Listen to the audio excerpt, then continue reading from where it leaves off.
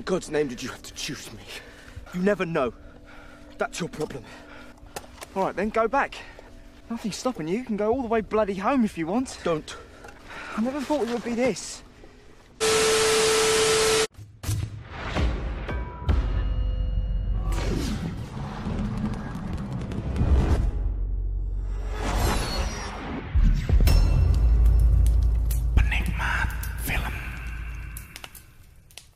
Setelah itu, mereka akhirnya melihat suatu rumah yang telah lama tidak dihuni oleh siapa pun. Di daerah itu, Scofield melihat seember susu segar seakan-akan pemilik mereka terburu-buru untuk kabur dari sesuatu. Scofield lalu menenggak sedikit dan mengisi botol air miliknya yang sudah habis.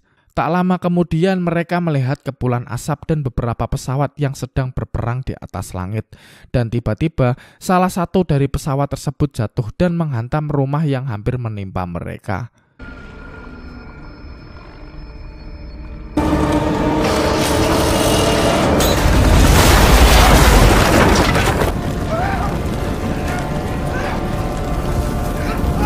Yang ternyata pesawat tersebut milik tentara Nazi. Karena rasa kemanusiaan mereka pun langsung bergegas menyelamatkan pilot Jerman itu yang masih hidup. Setelah diamankan, Black pun menyuruh Scofield untuk mengambilkan air untuk pilot tersebut. Namun saat Scofield mengambil air, mereka malahan No, no, no!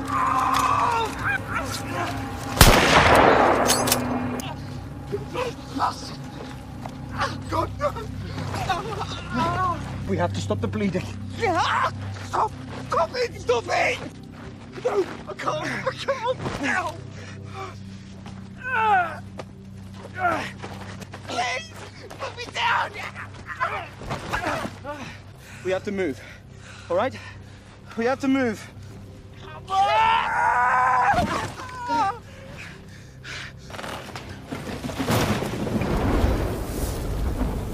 Karena kejadian tersebut, perut Blake yang tertikam lama-kelamaan wajahnya memucat.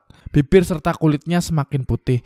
Dan saat sekarat, Blake menyuruh Scofield untuk tetap melanjutkan misinya itu. Dan menyelamatkan kakaknya yang ada di batalion kedua. Blake pun menyuruh Scofield untuk menuliskan surat kepada orang tuanya bahwa dia sangat mencintai mereka. Scofield pun juga merasakan duka yang mendalam saat melihat Blake meninggal. Will you write to my mum for me? I will. Tell her I wasn't scared. And then I'll find your brother. Just like you.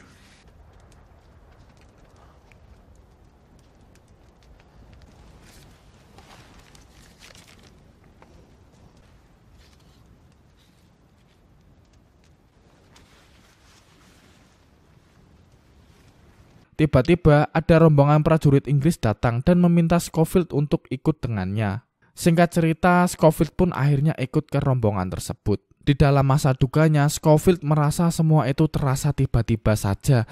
Ia baru saja berbincang-bincang dengan Blake dan tiba-tiba sekarang ia melanjutkan misi tanpa ada sahabatnya di sisinya. Yang ada di pikirannya saat ini cuma ada janjinya bersama sahabatnya untuk menyampaikan informasi ke Kolonel Mackenzie. Di perjalanan, truk yang ditumpangi Scofield pun masuk ke dalam lumpur dan hal itu membuat Scofield putus asa. Namun ia menyuruh penumpang lainnya untuk mendorong bersamanya. Everyone needs to get out. Come on! All right. All right, keep your bloody hair on. Three! Come on! Please, I have to go now. Please. Right, come on, lads. Come on. Come on, boys. One.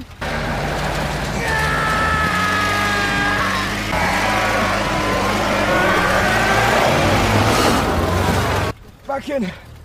Get back in. Ia juga meminta tolong bahwa misi ini penting untuknya, yang menggambarkan betapa kegigihan Scofield untuk memenuhi janjinya dengan Black. Sampai akhirnya mobil itu berhasil keluar dari lumpur dan berhasil berjalan. Tetapi tantangan pun kembali muncul, yang di mana jembatan yang biasa dilalui itu sekarang telah hancur, yang artinya mereka harus memutar dan harus melewati jalur yang lebih jauh lagi. Karena terpepet waktu, Scofield pun terpaksa untuk memilih berjalan kaki, dan saat akan melewati jembatan tersebut, tiba-tiba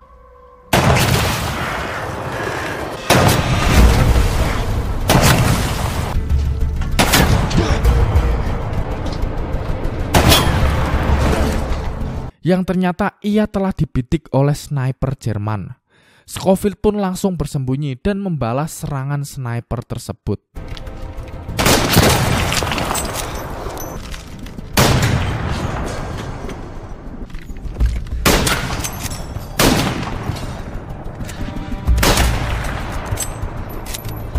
Yang akhirnya ia berhasil mengenai prajurit itu. Dan ketika ia akhirnya sadar, tidak ada lagi tembakan balasan. Ia berpikir sniper itu sudah mati, ia pun maju, tetapi tak disangka saat ia membuka pintu, ternyata ia pun ditembak oleh sang sniper itu, yang untungnya ia pun masih selamat, cuma pingsan saja karena benturan di kepalanya. Dan saat sadar, ia pun kaget karena hari telah malam.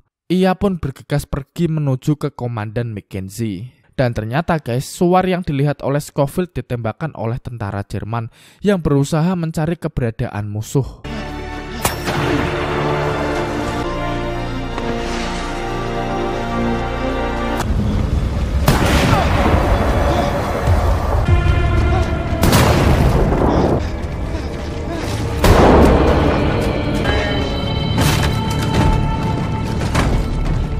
Setelah berkali-kali nyaris tertangkap, Scofield pun akhirnya berhasil masuk ke sebuah rumah seseorang wanita Prancis. Dengan perlahan, Scofield pun memberi itikat baiknya ke sang wanita, dan mereka pun mulai bercakap-cakap meski tidak tahu bahasa satu sama lain. Karena terpepet waktu, Scofield pun melanjutkan perjalanannya kembali. Di luar rumah, ia hampir tertangkap dan ditembaki sampai kecebur ke sungai untuk menyelamatkan diri.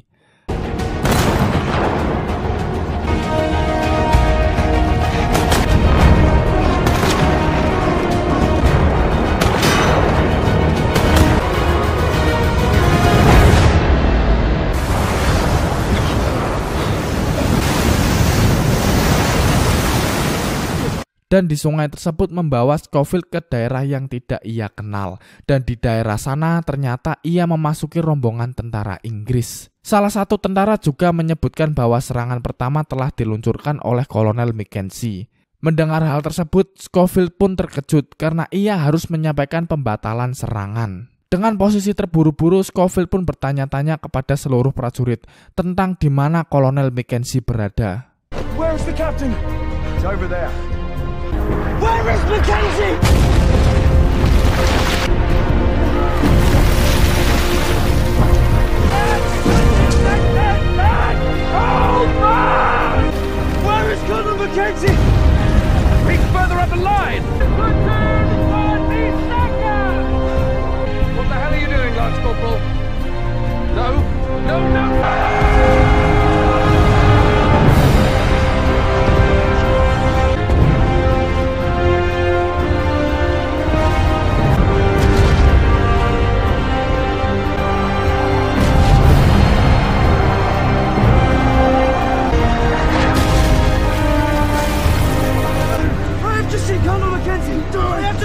Dan ketika akhirnya ia bertemu dengan Kolonel Mackenzie. Pada awalnya Mackenzie tidak percaya dengan Scofield.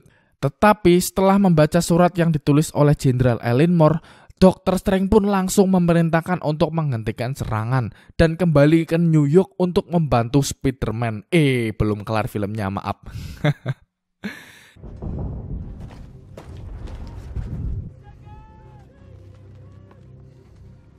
Major, Yes, sir. stand them down. Yes, sir. Call up the orderlies. Tend the wounded.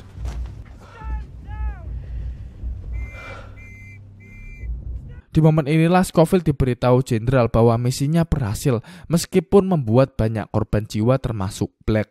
Dan akhirnya Scofield pun mencari kakak Black yang berada di batalion tersebut. Dan akhirnya ia pun bertemu dengan kakak Black.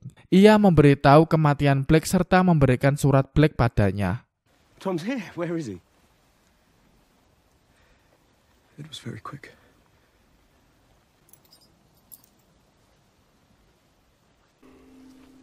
He was a good man. He saved my life. Oh, I'm glad you were with him.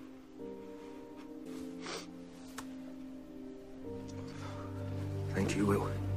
dan di scene akhir, Scofield pun diperlihatkan ia yang sedang meratapi perjuangannya di medan perang dan film pun berakhir. Hurrah!